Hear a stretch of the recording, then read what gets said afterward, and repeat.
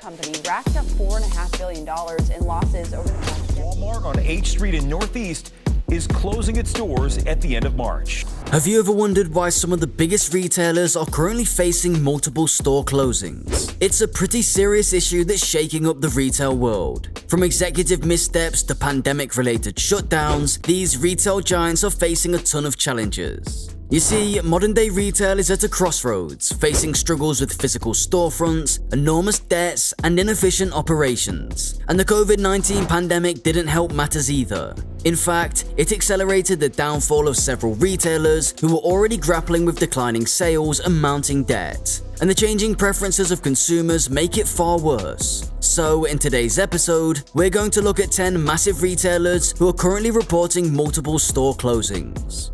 Number 10. J.C. Penney. JCPenney. JCPenney's store in Orlando is now in the process of closing down. Why?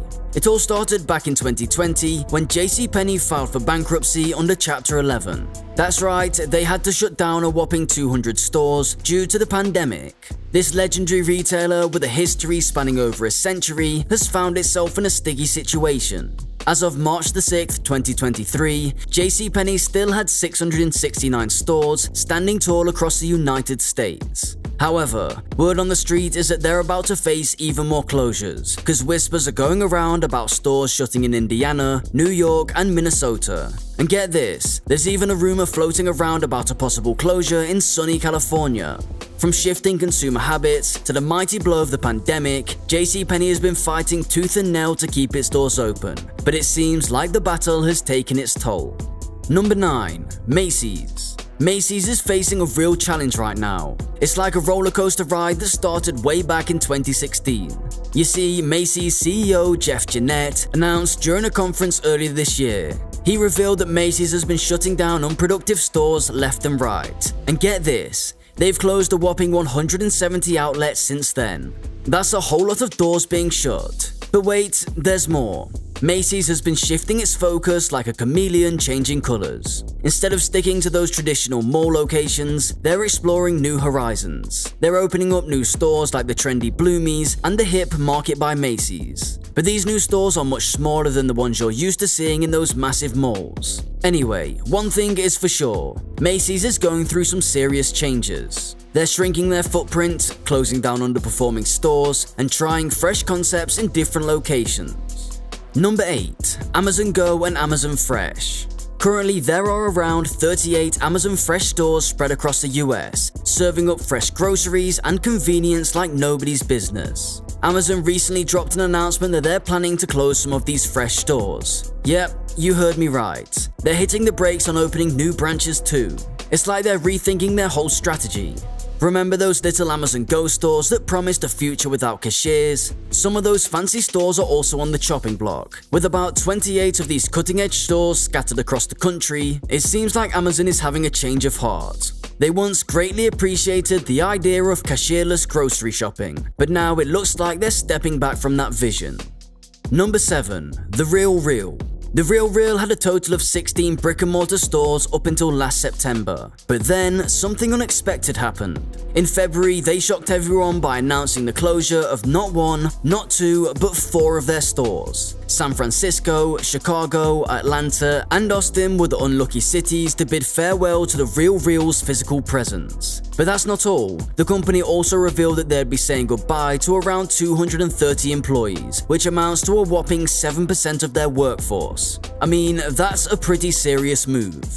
Number 6. Banana Republic and Gap Ever since October 2020, Gap Inc., the parent company of Banana Republic, has been shutting down stores left and right. Around 120 Banana Republic stores have already bid us farewell, leaving us wondering what's going on. And that's not all. Approximately 175 Gap retail stores have also fallen victim to the closure frenzy.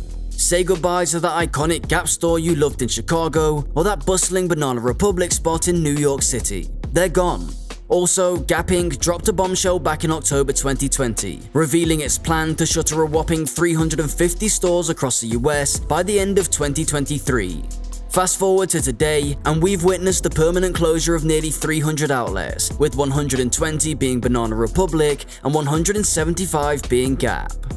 Number 5. Footlocker Just last week, Foot Locker dropped the news that they're planning to shut down over 400 of their underperforming stores by 2026. Yep, you heard me right, 400. And here's the kicker, most of those stores are located smack dab in the heart of those bustling shopping malls we all love to hang out in. Now, you might be wondering why this news has caused such a stir.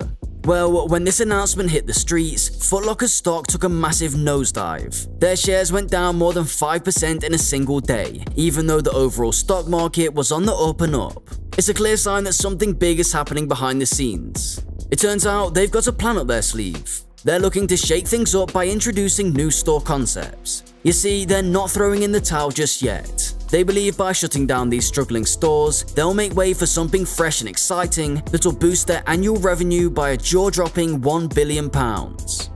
Number 4. Big Lots this year, Big Lots is on a mission to shift its focus away from bustling urban centres and set its sights on towns and more rural areas. During an earnings call back in December, the CFO of Big Lots, Jonathan Ramsden, revealed that at least seven stores would be closing their doors before the year comes to a close. Three of those unlucky stores are located in the sunny state of California, while the remaining four bid farewell to their customers in the scenic state of Colorado. Reasons are not revealed yet. That's a question that's yet to be fully answered.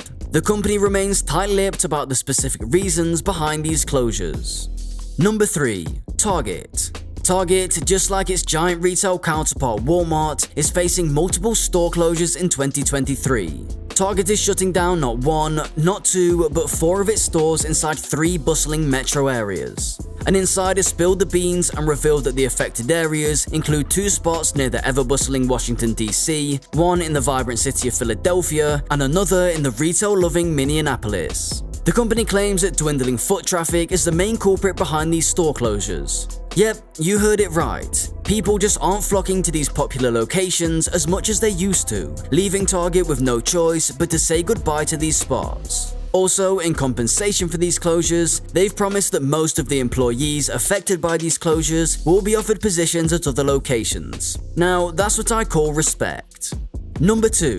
Walmart the largest retail giant in the US is facing some serious trouble. In their annual quest to eliminate underperforming stores, Walmart has made a bold move, closing a whopping total of 8 locations. Back in February, Walmart announced the closure of 12 stores spread across 9 states and even the nation's capital, Washington, D.C.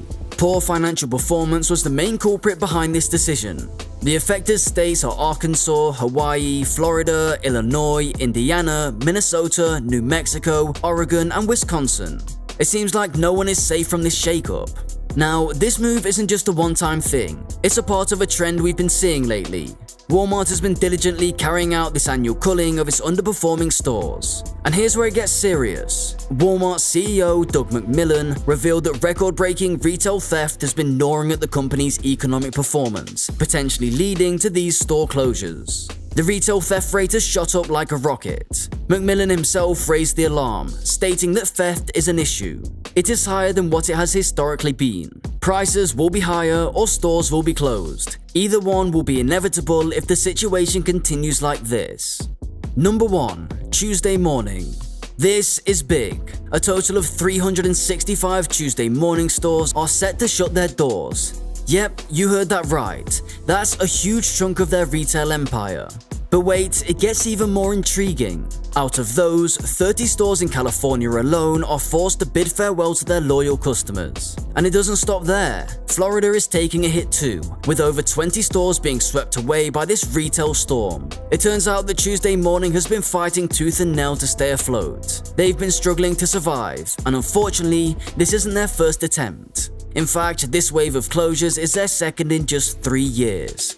Whoa. Now, that's huge. I mean, it is in fact a huge portion of the total retail stores in America. Anyway, these 10 companies aren't having a great time, and the situation is going to get worse in the coming years. So, what do you say? Do drop what you think about these brands in the comment section below, and we'll meet again in the next episode. Until then, stay tuned.